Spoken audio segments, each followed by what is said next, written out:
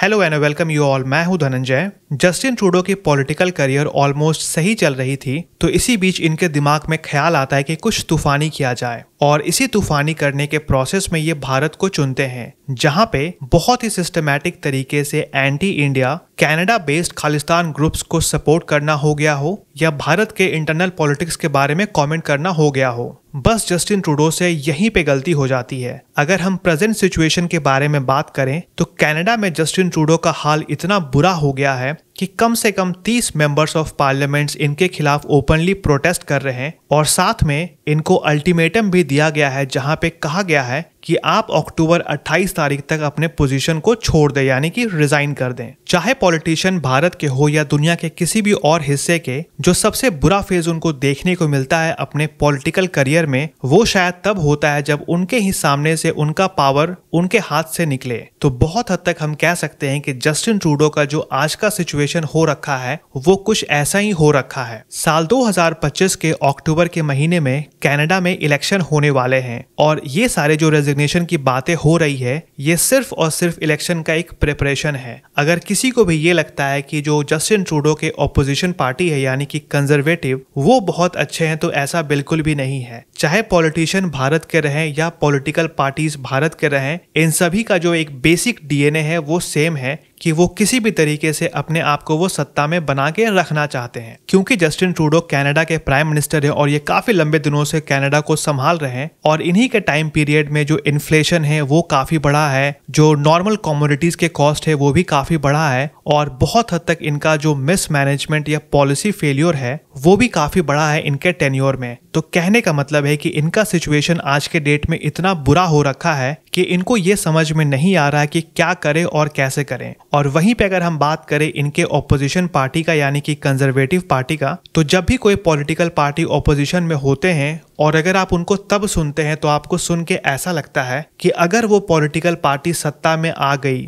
तो शायद बाहर आ जाएगा। और ये जो फिनोमिना है, ये ऑलमोस्ट दुनिया के सभी डेमोक्रेटिक स्ट्रक्चर में आपको देखने को मिलेगा। क्योंकि जस्टिन ट्रूडो को तूफानी करना था तो इसी तूफानी के चक्कर में आज के डेट में ये भारत के साथ अपने फॉरेन पॉलिसी को इतना ज़्यादा खराब कर चुके हैं कि पॉसिबली हम बहुत हद तक कह सकते हैं कि जब तक जस्टिन ट्रूडो कनाडा के पॉलिटिक्स से बाहर नहीं होंगे, तब तक बहुत हद तक भारत और कनाडा का जो रिलेशन है वो ऐसे ही खराब रहेगा। जस्टिन ट्रूडो जिस पॉलिटिकल पार्टी को बिलोंग करते हैं, इसका नाम है लिबरल पार्टी और जो इनको पार्टी सपोर्ट करती है वो है एनडीपी यानी कि new democratic party new democratic party को जो रूल करता है, उसका नाम है जगमीत सिंह जगमीत सिंह वही आदमी है जो बढ़ चढ़कर एंटी इंडिया मूवमेंट में वो पार्टिसिपेट करता है। तो यहाँ पे शायद सवाल दिमाग में ये आ सकता है कि आखिर में एनडीपी का सपोर्ट लिबरल पार्टी को क्यों चाहिए? तो कनाडा का जो पॉलिटिकल स्ट्रक्चर है, उसके हिसाब से अगर आपको सरकार में रहना है तो आपके पास कम से कम 170 सीट्स होनी चाहिए वहाँ के पार्लियामेंट में। तो इनकी जो पॉलिटिकल पार्टी है लिबरल पार्टी इनके पास है टोटल 157 सीट्स और जगमीत सिंह की जो पॉलिटिकल पार्टी है, यानी कि एनडीपी इनके पास है 25 सीट अगर आप इन दोनों नंबर को अगर आप कैलकुलेट करेंगे तो सक्सेसफुली 170 सीट से वो क्रॉस कर जाता है। तो ये भी सबसे बड़ा वजह है कि क्यों जस्टिन ट्रूडो को बढ़ चढ़कर उन सभी एक्टिविटीज़ में पार्टिसिपेट होना पड़ता है, जो किसी भी तरीके से भारत के खिलाफ हो। हालाँकि, यहाँ पे जस्टिन ट्रूडो का भी एक कॉमन सेंस होना चाहिए कि वो किसी भी तरीके से सत्ता में बने रहने के लिए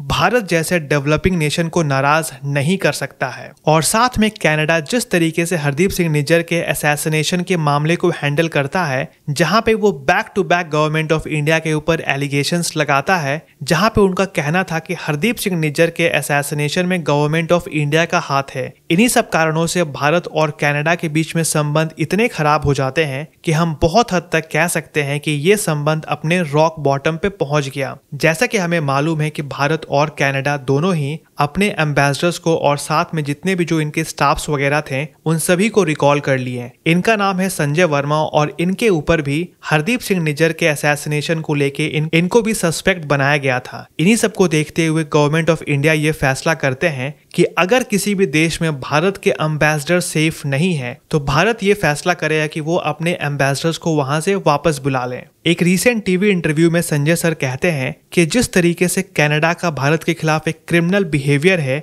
ये कहीं से भी एक्सेप्टेबल नहीं है। और जब इसी इंटरव्यू में संजय सर से ये पूछा गया कि कनाडा में तो अगले साल चुनाव है तो अगर जस्टिन ट्रूडो किसी भी तरीके से भारत के साथ अपने संबंध को खराब करेगा तो क्या ये आने वाले जो इलेक्शन है उसमें इसका इम्पैक्ट नहीं पड़ेगा? तो जिसको लेकर संजय सर बहुत ही अच्छे तरीके से समझाते हैं कि कनाडा में बहुत सारे हिंदूज हैं और सिख हैं, जो कंप्लीट तरीके से खालिस्तानीज को अपोज करते हैं, लेकिन इनका जो नंबर्स है वो अलग अलग प्रोविंस या अलग अलग डिविजन्स में है। तो कहने का मतलब है कि भले अगर आप ऑन पेपर्स देखेंगे तो आपको ये मालूम पड़ेगा कि कनाडा में 10 परसेंट या 20 परसेंट हिंदूज रहते हैं, लेकिन उनका जो वोट है वो एक ही एरिया में कॉन्सेंट्रेटेड नहीं है, वो बटा हुआ है। तो कहने का मतलब है कि वो जो नंबर्स है वो इतना ज़्यादा बटा हुआ है कि उसका जो इम्पैक्ट है वो वोटिंग पैटर्न पे बहुत ही मिनिमम पड़ता हुआ दिख रहा। और उसके बाद संजय सर ये भी कहते हैं कि जो चुनाव हो रहे हैं वो कनाडा का खुद का एक अपना डोमेस्टिक पॉलिटिक्स है, जिसके बारे में हमें कमेंट नहीं करना चाहिए। तो ये होता है एक रिस्पॉन्सिबल एम्बेसडर या डिप्लोमेट जो किसी भी तरीके से अपने रोल से डिविएट नहीं करते हैं। जैसा कि नॉर्मली भारत में भी होता है कि इलेक्शन के आसपास बहुत सारे जो न्यूज़ एजेंसीज हैं, वो लोगों के पास जाते हैं और उनका ओपिनियन लेते हैं। वहीं पे अगर हम बात करें कनाडा के बारे में और साथ में जस्टिन ट्रूडो के बारे में तो बीते कुछ सालों में इनकी जो पॉपुलैरिटी है वो ड्रास्टिकली गिरी है। तो बहुत हद तक हम कह सकते हैं कि जस्टिन ट्रूडो आज के डेट में एक कंप्लीट तरीके से पैनिक वाले सिचुएशन में है, जहाँ पे इनको कुछ भी समझ में नहीं आ रहा कि इनको क्या करना चाहिए और कैसे करना चाहिए। और साथ में जो इनके ओपोजिशन पार्टीज़ हैं, वो बढ़ चढ़कर इनके ऊपर अटैक कर रहे हैं। तो यहाँ से भी एज एन इंडियन हमारे लिए देखना काफ़ी इंटरेस्टिंग होगा। कि अगले साल कनाडा के इलेक्शन में कौन जीता है और जो अल्टीमेटम दिया गया है इनके ही मेंबर्स ऑफ़ पार्लियामेंट के द्वारा, उसको किस तरीके से ये रिस्पॉन्स करते हैं? I hope that you like the video अगर फिर भी मुझसे कहीं कोई कमी या कहीं कोई गलती हो गई तो मैं माफ़ी चाहूँगा। मैं चाहूँगा कि आप मुझे ईमेल करके बताएँ। See you in the next video have a wonderful day thank you take care goodbye